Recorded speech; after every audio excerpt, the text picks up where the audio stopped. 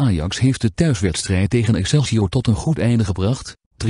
De Amsterdammers verkleinden met de zegen het verschil op koploper PSV tot 5 punten. Ajax begon sterk aan de wedstrijd en kwam via Siem de Jong ook al vroeg op voorsprong. Maar Excelsior bracht de stand vlak voor rust verrassend langzij dankzij Mike van Duinen. In de tweede helft stelde Ajax echter alsnog orde op zaken. Casper Dolberg zorgde vanuit de strafschopstip voor de hernielde voorsprong. Waarna Hakim Ziyech uit een vrije trap aan alle spanning een einde maakte. Door de overwinning voerde Ajax niet alleen de druk op PSV verder op, maar nam het ook de tweede plaats op de ranglijst op basis van het doelsaldo over van Aas. PSV en Aas kwamen eerder deze week tegen respectievelijk FC Groningen 3-3 en Zwolle 1-1. Niet verder dan een gelijkspel. PSV gaat met 40 punten uit 16 duels nog altijd wel riant aan de leiding, gevolgd door Ajax 35 punten en Aas 35 punten. Ajax en AS staan zondag tegenover elkaar in Alkmaar. PSV neemt het zaterdag al voor eigen publiek op tegen nummer 8 ADO Den Haag. Ajax zag tegen Excelsior wel de defensieve problemen groeien.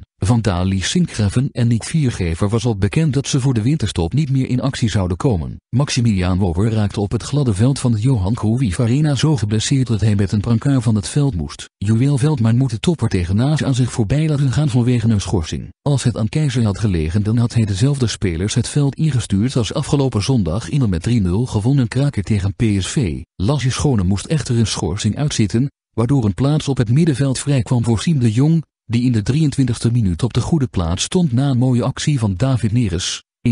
Het de openingstreffer was een logisch gevolg van het krachtsverschil tussen beide ploegen. Excelsior kwam niet veel verder dan verdedigen maar kwam na 40 minuten wel op gelijke hoogte. Doelman André Onal voor kwam nog tot de Nouahadou uitscoorde, maar was kansloos op de rebound van Mike van Duinen. 1-1. Ook na rust vocht Excelsior voor wat het waard was. Doelman Theo Zwarthoed kreeg nog een hand tegen een kopbal van Veldman en zag Siem de Jong op de paal schieten. Hij was in de 57ste minuut kansloos toen Casper Dolberg een strafschop mocht nemen nadat Hisham Faikens hens had gemaakt. 2-1.